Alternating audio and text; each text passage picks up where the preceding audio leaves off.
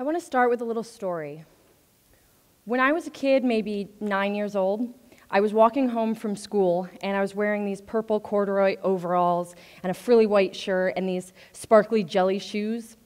I was humming a song I'd learned in chorus and I thought to myself, man, I sound incredible. I was humming a little louder, you know, really getting into it when I noticed this guy out raking leaves in his yard. As I walked by his house, I kind of peeked back. I, assumed he'd be stunned, having just witnessed such a rare, magnetic gem of beauty and talent, but he's pretty much still just raking.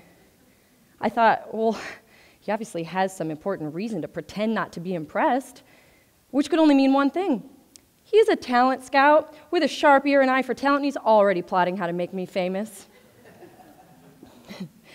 you could call that level of confidence delusional. You could even call it narcissism. But I'm going to call it radical vanity. And cultivating radical vanity is the only appropriate response to the current epidemic that we're facing of distorted, uh, body negative self image held by most girls and women today. 91% of women diet. Only 2% consider themselves beautiful. Um, the number one concern for girls aged 11 to 24 is how their body looks. And 97% of women surveyed report having at least one I hate my body thought every single day. A lot of them actually reported having thoughts like that closer to 50 or 100 times a day, but just think about that for a second 97%. That's everybody. Which means that hating your body has nothing to do with what your body actually looks like. Shame and hatred have become a habit. Disgust has become a cultural phenomenon. And self loathing has become the automatic lens through which we view ourselves. The way that most women talk to themselves it would be considered emotional abuse if it came from someone else. They stand in the mirror and they say things like, You are a fat, worthless pig, or No man will ever love you. Those are actual quotes from women surveyed the way that women see themselves has become something that's called a cognitive distortion. A cognitive distortion is a way that the mind convinces you of something that isn't true. Um, essentially, when you look at people around you, you are able to see accurately. Your eyes are naturally drawn to what's beautiful about them. But when you look at yourself, the distortion causes you to only see your flaws. And you end up kind of trapped in this funhouse, mean mirror version of reality. The interesting thing about cognitive distortions is that the more you engage in distorted thought patterns, the stronger the neural pathways in your brain become for that distortion. Um, which basically means that the more you focus on your perceived flaws, the bigger and more glaring they're going to seem. Which, given how many of us are thinking, I hate my body every day, you can see how often we're greasing those neural pathways. But it's not just how we talk to ourselves that reinforces this point of view, it's also how we talk to and about each other. There is a cultural assumption that women should look like the images we see in mainstream media and magazines and advertisement and entertainment. The distortion is built into our culture. Um, judging other women and body bashing are some of the most common ways that women can bond and we kind of think of those as harmless, you know, offhand comments and conversations. But they're actually reinforcing that cognitive distortion that you live in. They fuel the idea that there's only one right way to look, there's only one right way to have a body. Of course, we know that that's not true. Thankfully, our culture is starting to take the problem of low body image and low self esteem seriously, and right now we have all kinds of movements who are starting to rise up. We have the fat acceptance movement, and health at every size. We have Dove campaigns encouraging girls to embrace their shapes. And a few brave clothing brands are employing model body diversity or taking vows to stop using Photoshop. I support these movements and I hope that we continue to see more and more of them as time goes on. But to me, it feels a little bit like trying to fight the apocalypse with a spoon. We're trying to fight distorted, hyperbolic levels of self loathing with moderate, polite levels of acceptance. And then we're wondering why it doesn't work. I think we need to fight fire with fire, or in this case, fight fantasy with fantasy. Our culture isn't going to change anytime soon, so waiting until self love becomes the norm to love yourself is a pretty bad plan. I want to draw your attention for a moment and have you think about happiness. Happiness, it's been proven, doesn't come from something external. It's internal. It's something that's a choice. It's uh, an outlook. And that outlook helps determine how you'll interpret everything that you encounter. The same is true of how you see yourself. You have the ability to choose and practice how you see yourself. And you can cultivate a point of view that's based in compassion, admiration, and pride. I call that point of view radical vanity. Interestingly, the word vanity is sort of meant to be an insult. It's meant to imply that somebody cares too much about themselves.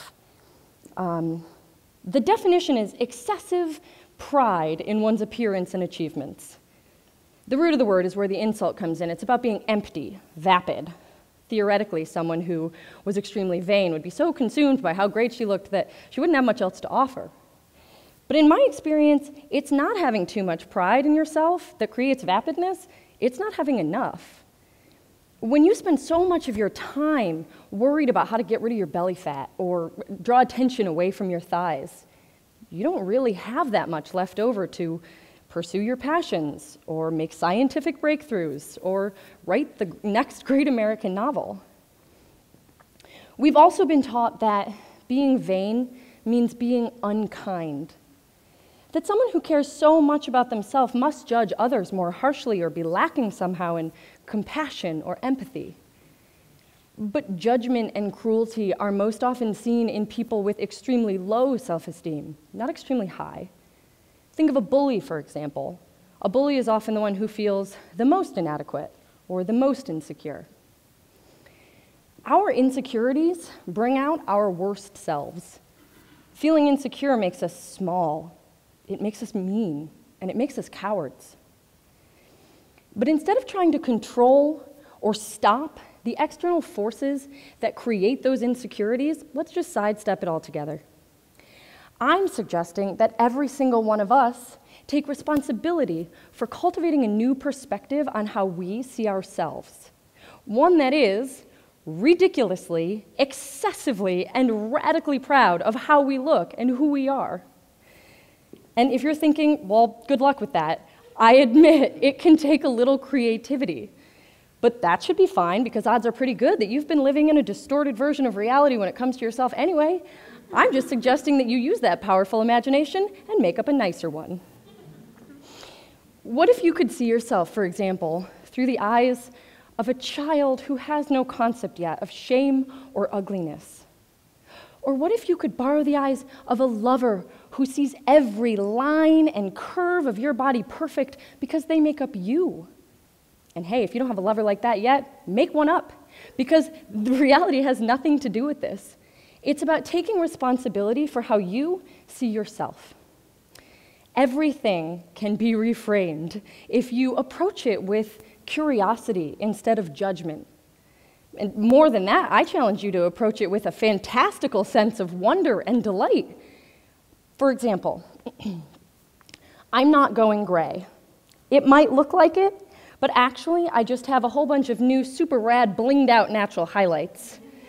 And I don't have cellulite. I have fancy, embellished fat. It's like lacy decorations built into the backs of my thighs. This proud, whimsical point of view uh, doesn't just belong in your own head either. I challenge you to take radical vanity to your friends, your family, and your community. Tell everyone you're doing an experiment and that from now on, you only say nice things about yourself. Ask for support to stop apologizing for how you look and who you are. Refuse to stop body bashing or judging other women. Try to talk openly and confidently about what you like about yourself and encourage everyone around you to do the same. Imagine a world where when you give your friend a compliment, she responds with, Thank you, I agree. Or what if you could hear someone talk about how this new weight that she gained actually makes her feel really sexy and feminine? Just to be clear, I know that going from this world to a world in which all women feel unconditionally perfect is a bit of a stretch. But that's the nature of backlash. We're so deeply consumed by negativity right now, so far on that end of the spectrum. If we attempt to swing the pendulum as far as we can in the other direction, we might actually stand a chance of landing in the middle someday.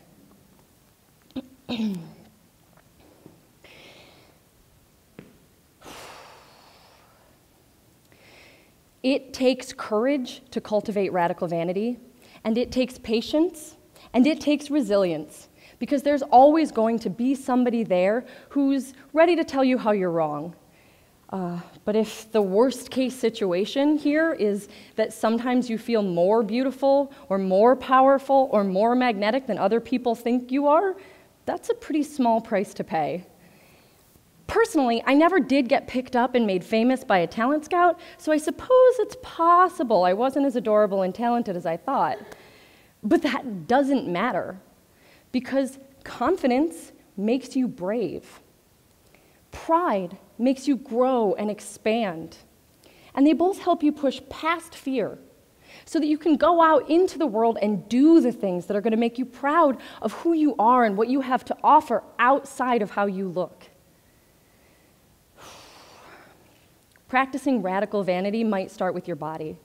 It might start with your appearances, but it ends with you reclaiming your life and changing the world. Thank you.